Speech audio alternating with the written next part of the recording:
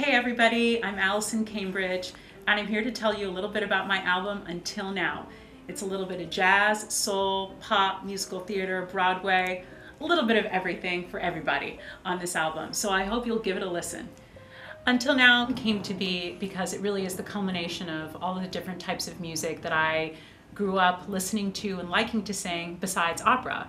Um, and so it's a mix of jazz, Broadway, pop, all sorts of different types of crossover. And all the songs on the album are songs that influenced me growing up and throughout my life. I'm very hopeful that all of my opera fans will follow me and buy this album because it really is another part of me. Um, of course, I love opera and all that I do, but this is the other side of me.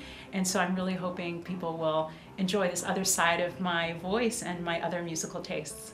And so all of the arrangements are original by Andy Einhorn, and he assembled a terrific group of musicians to play on the album, all of which play here in New York um, and are well known in the Broadway world. So I'm very fortunate to have them playing on my album. And none of this would be possible if it weren't for the amazing Naxos, Suite 28 Records, my management group, IMG Artists, and all of the people who made this album possible. Thank you. Mwah.